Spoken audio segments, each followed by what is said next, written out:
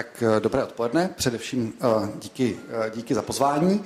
Uh, budu se snažit, jo, tak já jdu asi špatným směrem, tak musíme jít uh, tím uh, lepším směrem. Uh, tak uh, jo, mám tady timer, uh, děkuji. Uh, tak se budu pokusit to uh, zvládnout na čas. Um, a já jsem se uh, chtěl zamyslet nad jednou uh, věcí, jsem teda z katedry amerických studií a víte, že v dnešní době se ta Amerika hodně spojuje s problematikou národní bezpečnosti. A ta národní bezpečnost v Americe je to taková prostě modla.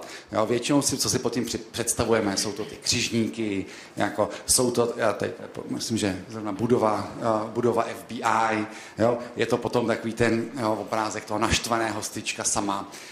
A já bych chtěl jako ukázat v té své prezentaci, že vlastně ty hrozby národní bezpečnosti jako možná jsou i jako trochu jiného druhu a trochu zapeklitější složitější, eh, než to, eh, eh, než to na první pohled vypadá. No, začal bych takovou českou, jako dvěma rychlejma historkama, jednu českou a jednu americkou. Ta česká historka, ta se mi stala o Vánocích, jako, tak jíme to kapra, sedíme jako rodinný krb a jako si, zábava jako pokračuje, takže potom se zeptáme s bratrem jako naší matky, jako matko, jakoby jsme tak přemýšleli a jako co by se muselo stát, jakoby co by si musela přečíst, nebo s kým bys musela mluvit, aby se jako přestala tak nekriticky obdivovat toho prezidenta Klauze.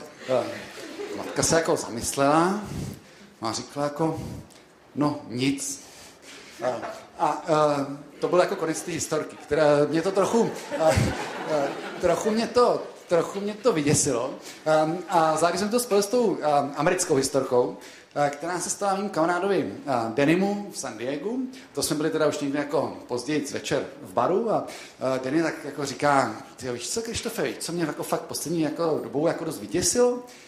Jako představ si, co se mi stalo. Jako je to tak asi dva roky a jako najednou prostě tak chodíme jako s kamarádama, popíme a to a oni začali, začali jednou říkat, jako Denny, ty jsi nějaký divný, ne? Jakoby ty jako máš takový nějaký zvláštní jako řeči. Jako co se to s tebou jako děje? A on říkal, jako jak jako zvláštní řeči, tak, jako, tak se jako bavíme, ne? Tak jako o co tady jde? Jo, a říkal mu to, jako, začal mu to říkat jako víc lidí, tak se jako začal jako zkoumat a jako zjistil, že prostě začal poslouchat Fox News.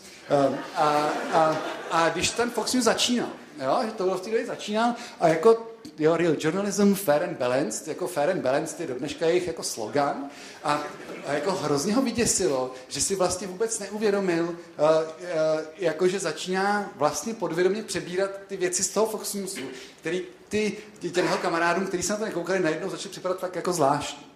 Uh, tak to jenom tak jako na úvod, k čemu se, jako, se dostáváme k tomu kritickému myšlení. Chtěl bych ještě, jsme trochu pracovali s publikem, jako takový tři rychlý mentální experimenty, než se opravdu dostaneme k té debatě. Jako je zajímavý si zamyslet nad tím, co by se muselo stát, jo, přesně bych položil tu otázku jako svým matce, jako abyste uvěřili, že prostě Barack Obama je muslim. Jo? Jako my jsme tady jako na univerzitě, jsme vytrénovaní trochu v kritickém myšlení, ale jako nakonec jako možná by vás něco přesvědčilo. Jo, jako kdybyste viděli nějaký dokumenty, jo, můžete třeba, jako tady to je známá, No, to je třeba reálná fotka, jo, to je trochu zajímavě jako ořízlá, tak jako nějak se tak jmenuje, tak jako proč by jako mohl být třeba i muslim, že? Uh, uh, nicméně třeba v Americe, jakoby tomu, že Barack Obama je muslim, věří 17% lidí. 17% eh, dokonce registrovaných voličů. Jo? To znamená, to už jsou jakoby zletilí. Eh, mají právo volit, což je vlastně 25 milionů lidí. Jo? Dva a půlkrát Česká republika jakoby věří tomu, že, eh, že Barack Obama je muslim. A jako věří tomu proč? Protože to samozřejmě, jako tuhle tu myšlenku, tahle ta myšlenka má určitý, jako má určitý pozadí a jsou to většinou lidi, kteří ho nechtějí volit. Aby jsme trochu jako, přitvrdili v mentálním experimentu, jako ohledně toho přesvědčování, tak uh, asi, to, tak tady jsme zrovna na univerzitě, jo, jako, ale kdybychom mluvili někde jinde, tak spousta lidí jakoby je vidět, uh, když jdete po ulici, že prostě jezdí jako sami uh, autem po městě a vůbec to nevidí nic jako, jako špatného. Jo, a zase je zajímavý, se máme jako známí, jsou ty studenti od nás, kteří jako pracují na tom jako přesvědčit ty lidi, že jakoby jezdit samotný autem po městě jako je trochu divný. Jo? Dělají to třeba takhle, jako, třeba, jako tou cyklojízdou, ale um, je to zajímavé, že oni vlastně potřebují pracovat s tím uh, nějakým způsobem, uh, jako přesvědčit uh, nebo pracovat s tím, jako s tou myslí těch lidí a jako posunout je uh, někam, jako někam jinam. Tohle to je hrozně důležitý princip. Jo, jenom na ukázku, jak se to dělá v Americe, to přesvědčování, a, tak to je takový drsnější, jako drsnější verze a, toho. A, a možná, kdybyste objevili všude billboardy, že kdo je sám v tak jde s Putinem, jako, tak to bude mít jako, taky nějaký taky nějaký efekt. Ale jako důležité je začít s tím jako pracovat, Jo, uh, a zkuste si to třeba na svých, jo, jako na svých rodičích, jo, jako, co všechno byste museli udělat, abyste je o nějakých věcech přesvědčili. No, uh, v České republice je jako hodně, zajímavá, hodně zajímavý příklad, který právě, když bychom chtěli trochu kontroverzní, je třeba s jadernou energií. Jo, protože mně to došlo, jo, nebo jako, co by se muselo stát, jako, co byste museli přečíst, s kým byste museli mluvit, abyste jako začali uvažovat o tom, že ta jaderná energie je trochu divná.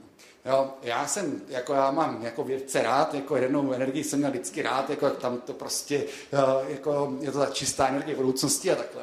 Jo, až jsem mluvil s nějakým Němcem, jo, a pak mě dost vyděsil jako titulka ekonomistů, jo, což ekonomist, jo, jako já je nemám zas tak rád, ale jsou to poměrně jako racionálně uvažující lidi, který jako počítají ty náklady. Jo. A mají měli velkou, jako velkou titulku nedávno, prostě to je ten sen, který skončil. Jo.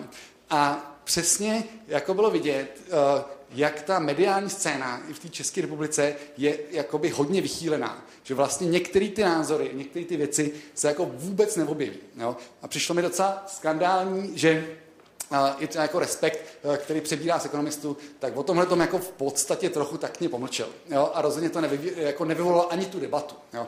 Takže to je jako takový spíš, um, jo, jako jo, děsivý příklad toho, eh, že je potřeba si udržovat trochu tu otevřenou, eh, otevřenou mysl. Jo. Tak eh, konečně se dostaneme do Ameriky, jo, protože tím, jak se zabývám, zabývám Amerikou, tak to je zajímavé v tom, že američani jsou často jako ve spoustě věcech napřed. Jo. A spousta věcí tam jako v podstatě se k nám dostává, i třeba jako mediálních se k nám dostává právě z Ameriky. A je dobrý se zamyslet nad tím, jak tam vypadá teda nějaká ta otevřená kritická diskuze k nějakým závažným problémům.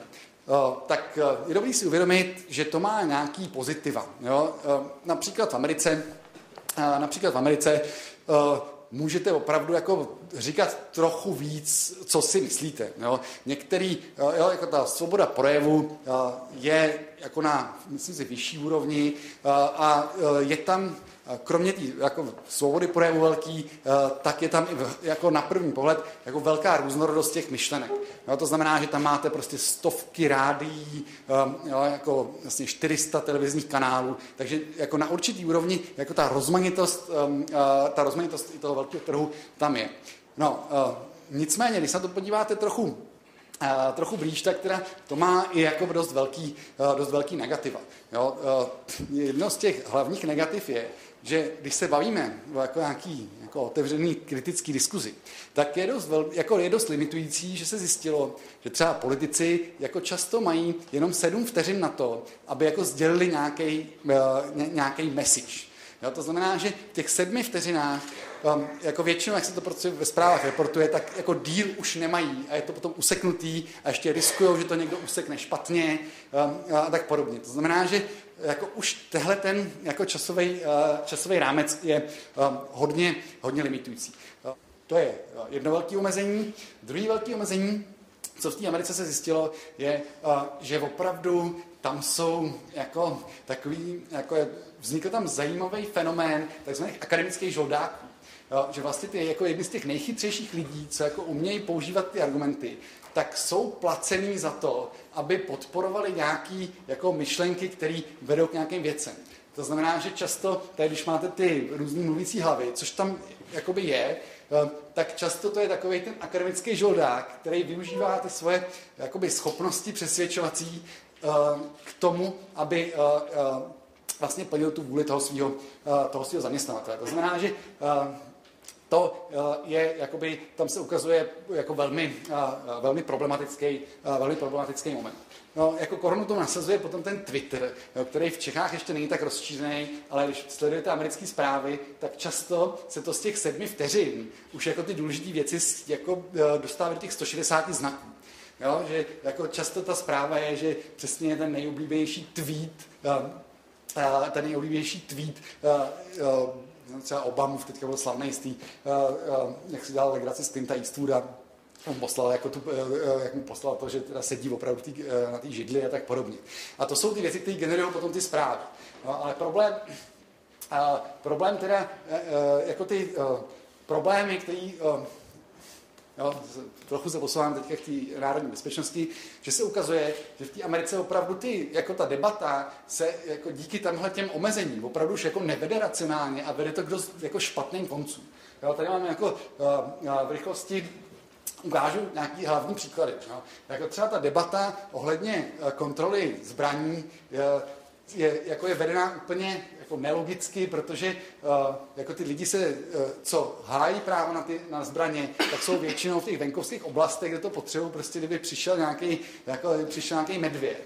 Jo, nicméně ten reálný problém je ve městech, kde se zabíjejí, eh, jako kde se zabíjejí 16 letý, jako hlavně černoši, spánci, jako zbraněma, které jsou všude po městech. Jo, to znamená, že tam jako existuje, jako teoreticky by existoval nějaký prostor pro rozumný kompromis. Nicméně jako ta debata je úplně zaseklá a máte tam, máte tam jakoby dvě vyhrocené strany, které se zase najímají tady tyhle ty akademické žoldáky a vlastně to neprobíhá. Druhý takový problém, který tam je dlouhodobě jako neřešený a díky té iracionalitě je ta debata o potratech. Jo, prostě nikdo nemá rád potraty jo, a, a je tam určitě nějaký prostor pro to, jako který ty jako kroky a věci jsou, jako vedou k tomu, aby těch potratů bylo méně. Třeba Česká republika Máme to je dobrý příklad, že po roce 89 došlo k dramatickému snížení. Jo? Proč se to stalo, jak se to stalo, jako, dá se o tom diskutovat. Nicméně tam zase, jako díky tomu, že máte 7 vteřin, jako, a jsem jako pro potrat, eh, jako jsem proti potratům, eh, tak eh, vlastně by se ztrácí ta možnost něco s tím, něco s tím dělat. No, Zase, když se přibližujeme k národní bezpečnosti, jako třeba ta debata o Iráku um, jako byla taky velmi problematická. Jo? Tam teda už byla i ta uh, role, těch, role těch médií, nicméně se ukázalo, že spousta těch lidí, jo, například, jako my jsme jako z Institutu teritoriálních studií, tak ty odborníci, co rozumí střednímu východu, jo, jako rozumí tomu Iráku, uh, tak jako v té debatě vlastně jako byli úplně Díky, tou, eh, díky, tý, eh, díky tomu mechanismu, díky tomu eh, klipovitému pojetí, tak do té debaty vlastně výrazně nezasáhli a, a dopadlo, to, dopadlo to, jak to dopadlo. To znamená, to už jako ta neschopnost vést o, tom, vést o těch důležitých věcech racionální diskuzi začíná jakoby vidět, začíná, začínají být vidět ty negativní, negativní důsledky. Tady to teda Zase to už um, uh, by bylo samozřejmě na um, delší povídání, nicméně uh, jako debata současná o, uh, o rozpočtu a vůbec o, um, o ekonomice je taky z velké části jakoby zideologizovaná jako neracionální a pohybuje se na úrovni jako klipů typu no, jako snížíme daně, bude to super, jako, nebo prostě jako necháme, necháme zemřít ženy a děti, protože nedostanou, nedostanou jídlo. Ale jako nějaká, jako ta, to racionální jádro tam fakt um, moc není. Jo, to se, um, to propojení na tu národní bezpečnost je zajímavé, že uh, co, co začínají říkat už i co začínají říkat i vojáci, to je Mike McMullen, bývalý uh, náčelník of Staff, který to přímo propojil a řekl, eh, že eh, vlastně ten stav té ekonomiky a ta nemožnost, tý, eh, nebo jako ta neschopnost jako té vládní garnitury vést o těch závažných dlouhodobých ekonomických problémech nějakou racionální debatou je jako jedním z největších ohrožení dlouhodobé národní bezpečnosti Spojených států protože to potom podrývá vojenské rozpočty a jako vůbec se jako nedostanou, jo, ta společnost se nemůže díky tomu dostat dál. Jo, druhý příklad je přesně eh, snížení ratingu. Ta agentura S&P jako nemám je rád, jako taky, si, taky si myslím, že teda jsou to takový, jako, takový ty polozločinci, nicméně, a, a, nicméně jako jsou, je to jeden z velmi důležitých hráčů a ty přesně řekli, že zase je to ta neschopnost vést a, jako racionální debatu o ekonomických problémech země, která vlastně jako snižuje ty vyhlídky na to, že budou splácet ty dluhopisy a proto vlastně snížila Spojeným státům, státům rating. A, co co podle mě eh, z toho vyplývá, eh, je, to, eh, je potřeba si to uvědomit, že opravdu taková ta neschopnost, která se díky těm, jo, ty nové technologie tomu taky trochu napomáhají, jako vést tu racionální debatu, tak je jako velmi problematická. A jako bylo by dobrý se nad tím zamyslet a něco s tím, něco s tím dělat. A důležité je, že to má teda dva komponenty. Jednak to je to, je to že člověk musí mít tu otevřenou mysl. Jo?